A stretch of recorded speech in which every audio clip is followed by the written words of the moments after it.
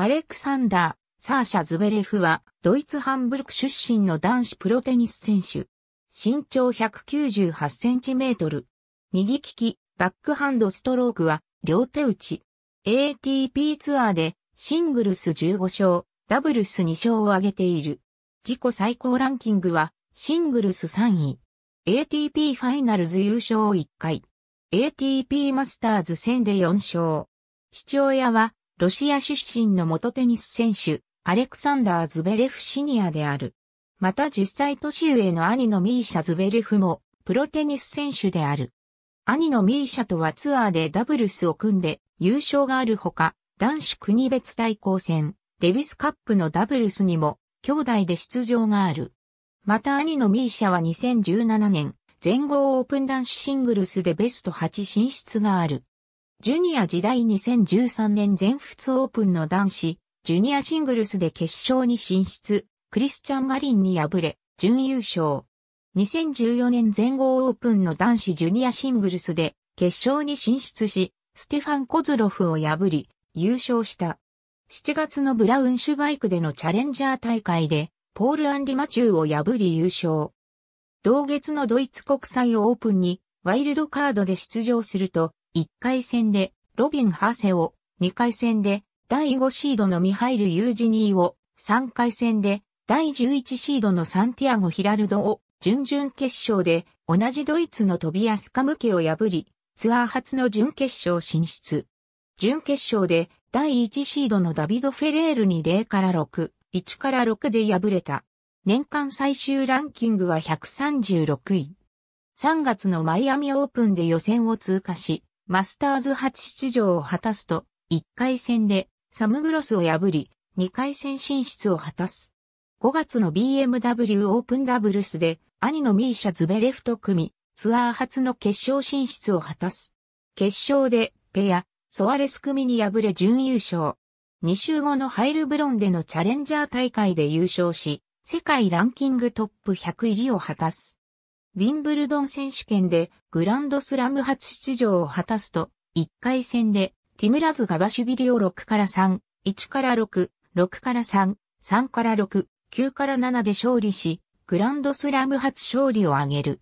2回戦でデニス・クドラに敗れた。7月のスウェーデンオープンでツアー2度目の準決勝進出を果たす。年間最終83位となり、ATP ニューカマーオブザイヤーを受賞した。年初のホップマンカップにザビーネリシツキと組んで出場。フランス戦で2勝を挙げる。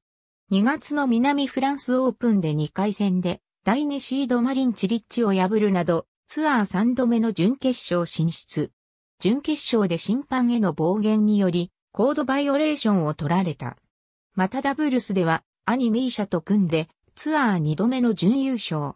3月のデビスカップ対チェコ戦で、デビスカップドイツ代表デビューを果たした。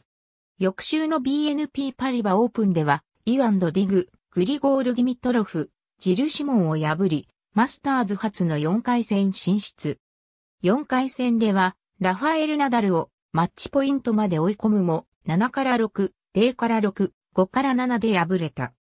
全仏直前のニースオープンでは準々決勝で、ジルシモンに6から3、6から7、7から6で破ると、準決勝でジョアン・ソーザを6から4、4から6、6から2で破り、自身初の ATP ツアーで決勝に進出。決勝ではドミニクティームに4から6、6から3、0から6で敗れ初優勝はならなかった。全仏オープンでは3回戦まで進出するが、ドミニクティームに敗れた。ゲリー・ウェバーオープンでは準決勝でロジャー・フェデラーを破り、決勝に進出。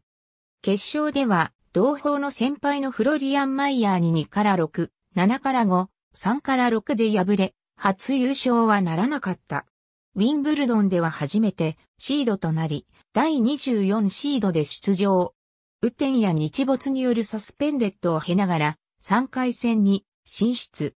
3回戦で世界ランク9位のトマーシュ・ベルディヒに3から6、4から6、6から4、1から6で敗れた。9月のサンクトペテルブルクオープンで今季3度目の決勝進出。決勝でスタン・マウリンカに6から2、3から6、7から5で勝利し、ATP ツアー初優勝を果たした。10代でのツアー優勝は2008年のマリンチリッチ以来である。2017年ウィンブルドン選手権年初のホップマンカップのスイス戦では、ロジャー・フェデラーに7から6、6から7、7から6で勝利した。全豪オープンでは3回戦で、ラファエル・ナダルと4時間を超える激闘の末、6から4、3から6、7から6、3から6、6から2で敗れた。2月のデビスカップ対ベルギー戦では、兄ミーシャと共にドイツ代表に選出され、ダブルスには兄弟で組んで出場。ルーベン・ベーメルマンス、ヨリス・デ・ローレ組に敗れた。翌週の南フランスオープンでは、シングルス決勝では、リシャール・ガスケを破り、ツアー2勝目を挙げ、ダブルスでは、兄ミーシャと組んで、決勝で、ファブリス・マルタン、ダニエル・ネスターに勝利し、ダブルス初優勝を果たした。マイアミオープンでは第16シードとして出場。3回戦で第1シードのスタンワウリンカをフルセットの末破る金星を挙げ、ベスト8に進出。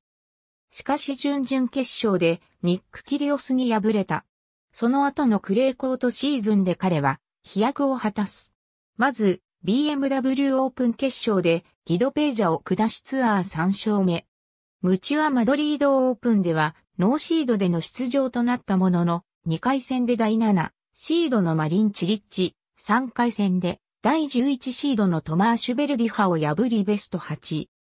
そして5月の BNL イタリア国際では、準々決勝でミロシュラオニッチ、準決勝でジョン・イスナーに勝利し、マスターズ戦で初めて決勝に駒を進めると、決勝では第2シード、世界ランキング2位のノバク・ジョコビッチを6から4、6から3で破り、ツアー4勝目、マスターズ初優勝を決めた。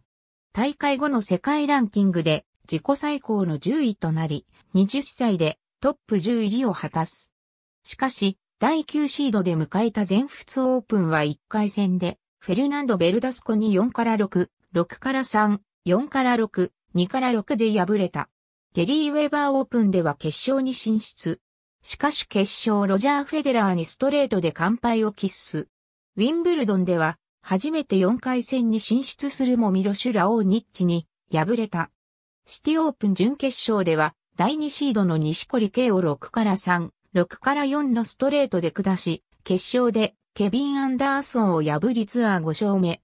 そしてロジャーズカップ決勝で第2シードロジャー・フェデラーに6から3、6から4で勝利し、マスターズ戦で2勝目を挙げる。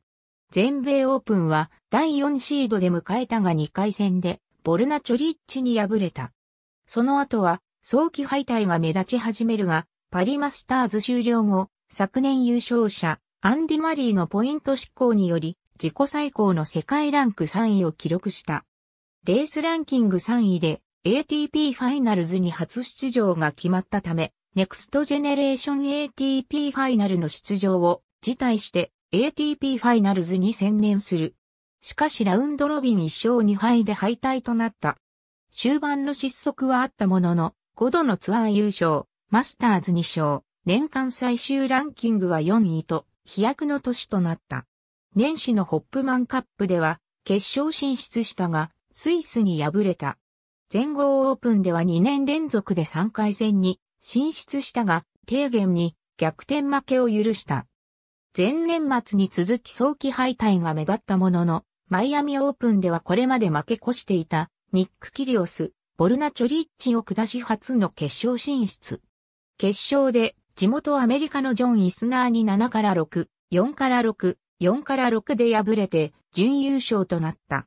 モンテカルロマスターズではリシャール・ガスケに勝利し、準決勝へ進出したが、西堀圭にフルセットの末に敗れた。5月の BMW オープンで大会2連覇を達成。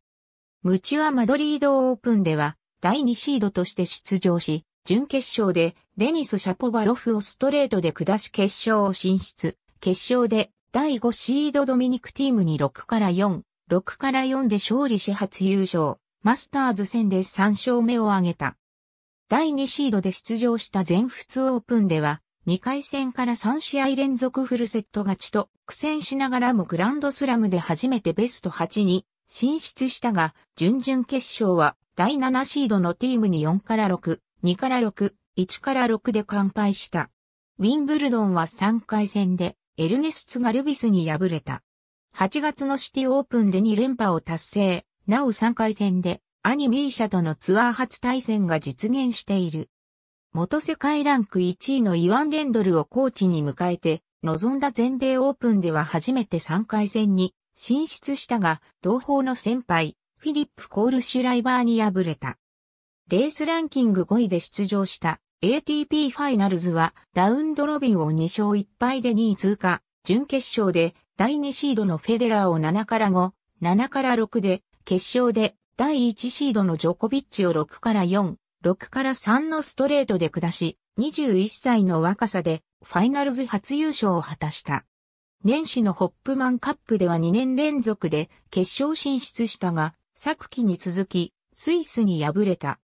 全豪オープンは自己最高となる4回戦まで進出したが、4回戦ではミロシュ・ラオニッチに敗れた。メキシコオープンはシングルスでは決勝でニック・キリオスに敗れ準優勝に終わったが、兄のミーシャと組んだダブルスでは決勝でアルテムシュタク、オースティン・クライチェック組を2の6、7から6、10から5で破り優勝した。その後は前年準優勝のマイアミオープンで引退を表明していたダビド・フェレールに2回戦で敗れ、連覇中の BMW オープンでも準々決勝でクリスチャン・マリンに敗れるなど、早期敗退が続いたが、全仏オープンの前哨戦にあたるジュネーブオープンでは、ニコラス・ジャリーを破り優勝した。全仏オープンは4回戦で、好調のファビオ・ホニーニを下して2年連続でベスト8入りした。準々決勝でジョコビッチに敗れた。ウィンブルドン選手権は初戦で予選勝者のイジー・ベセリーに敗れた。7月のドイツ国際オープン中にイワン・レンドルとのコーチ契約解消を発表した。全米オープンでは4回戦でディエゴ・シュワルツマンに敗れるも初のベスト16入りを果たした。10月の上海マスターズでは準々決勝で昨年のツアーファイナル以来の対戦となったロジャー・フェデラーを6から3、6から7、6から3で破ると、続く準決勝で新鋭のマッテオ・ベレッティーニを下し決勝進出を果たす。その決勝では過去4戦全勝のダニール・メドベージェフと対戦したが、6大会連続で決勝進出中と躍進を続けていたメドベージェフに4から6、1から6と圧倒され、準優勝に終わった。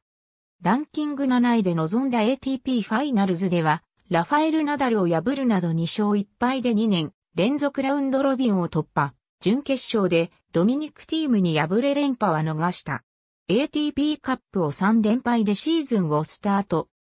全豪オープンは4回戦で好調アンドレイ・ルブレフを撃破すると、準々決勝ではスタンワウリンカを下して初のベスト4入り。準決勝でドミニクティームに敗れた。3月より新型コロナウイルス感染症の流行によりツアーが中断。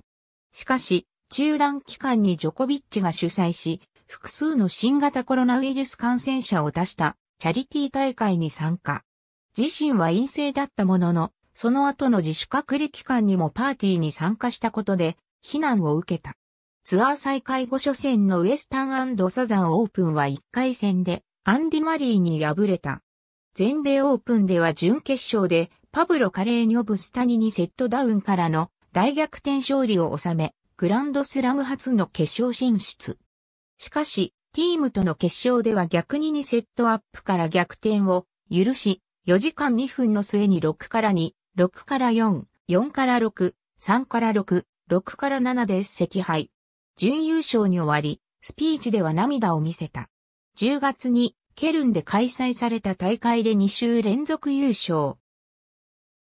パリマスターズは準優勝。ATP ファイナルズはラウンドロビン敗退。全豪オープンはベスト8。3月のメキシコオープンでは決勝のステファノス・チチパス戦を含むすべてストレート勝利で優勝した。その後は早期敗退が目立ったが5月のムチはマドリードオープンではナダルをストレートで破り、ベスト4入り。決勝では、マッテオ・ベレッティーニを下し3年ぶりのマスターズ優勝。その後のローママスターズでは2回戦で西堀圭を4から6、6から3、6から4の逆転で勝利したが準々決勝でラファエル・ナダル3から6、4から6のストレートで敗れた。全仏オープンでは第6シードとして出場。1回戦では同胞のオスカーを手を3から6、3から6、6から2、6から2、6から0の2セットダウンからの大逆転で敗ると、その後は錦織屋をすべてストレートで下し、3度目のベスト8に駒を進めた。準々決勝のアレハンドロ・ダビドビッチ・フォキナ戦にもストレートで勝利し、自身初の全仏ベスト4入りを果たした。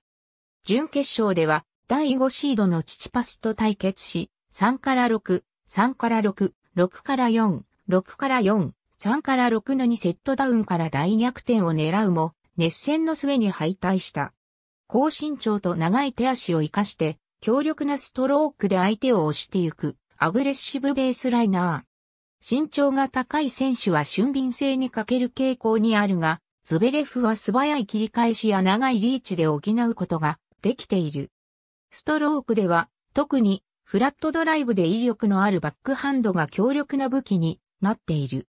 バックハンドはコンチネンタルからイースタングリップの間、フォアハンドはセミオープンスタンスでウエスタングリップ。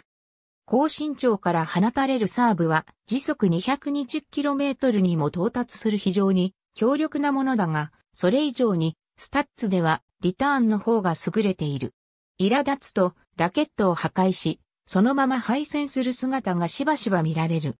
2020年10月、元恋人であるモデルのブレンダ・パテアがズベレフとの子供を妊娠したと公表した。これに対し、子供を心待ちにしている。父親としての責任を持って生きていく。とコメントした。子供のことは計画的ではなかったものの、2021年3月にパテアは無事娘を出産した。シングルス、1シングルス、7、タイトル3回準優勝4回 W イコール優勝、F イコール準優勝、SF イコールベスト4、QF イコールベスト8、R イコール回戦敗退、RR イコールラウン敗退、Q イコール予選回戦敗退、LQ イコール予選敗退、A イコール大会不参加、P イコール開催延期 WG イコールデビス、Z イコールデビス地域ゾーン、PO イコールデビス、G イコールオリンピック金メダル、S イコールオリンピック銀メダル、SF、B イコールオリンピック銅メダル、NMS イコールマスターズシリーズから降格、NH イコール開催なし。ありがとうございます。